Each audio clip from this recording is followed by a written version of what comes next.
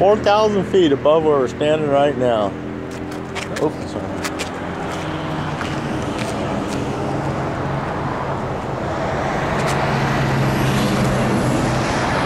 This is Turnagain Arm, south of Anchorage. Those mountains are uh, Girdwood at the ski resort.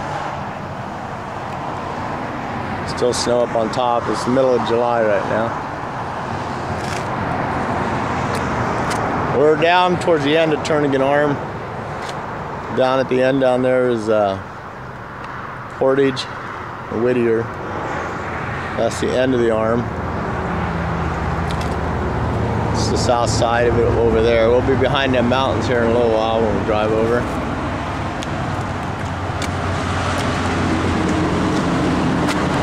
And that's uh, west towards Anchorage, northwest.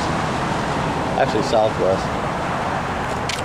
Right now, the tide is going out. Second highest tide in the world here, 32 feet, has been known to hit. You can see that the the arm is dry out there in the middle. It's all silt deposits where people get stuck and die if they walk out there. To give you an idea how fast the tide goes, there's a little drainage over here where it's going out. I'll try to zoom in and show you it's like a river.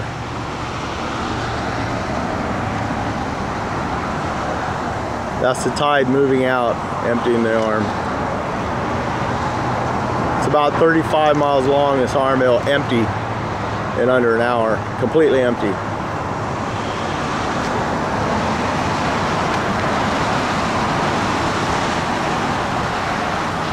You see it looks just like a river going out. When we come back here later today, this will be full. The whole arm will be full of water. It's one of the only places in the world you can see a bore tide.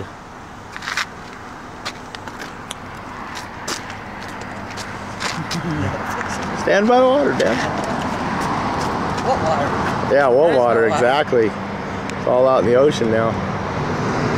This is turning Turnagain Arm, named after Captain Cook. Came to the end looking for passage and had to turn again.